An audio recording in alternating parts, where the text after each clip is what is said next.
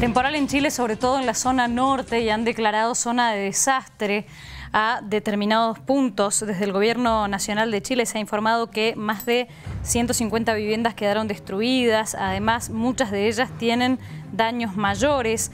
El temporal, con fuertes lluvias en el norte de Chile, se ha cobrado hasta el momento ya la vida de más de seis personas.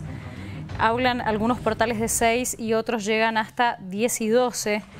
La información no está oficialmente confirmada, pero sabemos que hay varias personas muertas. También 45 eh, damnificados y muchas viviendas con daños de distinta gravedad, según el último reporte que han emitido las autoridades. Después de varios días de temporal, las regiones más afectadas son Arica Parinacota, Antofagasta y Tarapacá.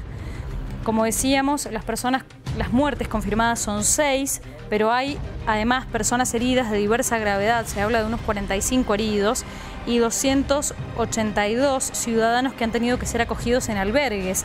Esto está registrado en el último reporte de la Oficina Nacional de Emergencia del Ministerio del Interior chileno, estamos hablando de la ONEMI. Asimismo, se ha informado que es importante el número de viviendas dañadas, algunas con destrucción total.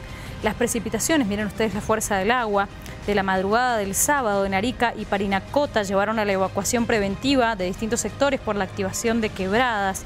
En Tarapacá, por las alteraciones de conectividad, se mantienen aisladas cerca de una veintena de poblados y se mantiene una alerta roja. Alerta roja en algunas regiones por riesgo de evento meteorológico. Se ha informado entonces que se esperaban precipitaciones de intensidad moderada a fuerte en la zona cordillerana y precordillerana de estas regiones que ya hemos mencionado. Y además se mantiene vigente un aviso por probabilidad de desarrollo de tormentas eléctricas, también en precordillera y cordillera chilena. Hablamos también de la misma, de la misma altura de las regiones de Atacama y cercanas. Como lo decíamos, más de 150 entonces viviendas quedaron destruidas, se habla de destrucción total.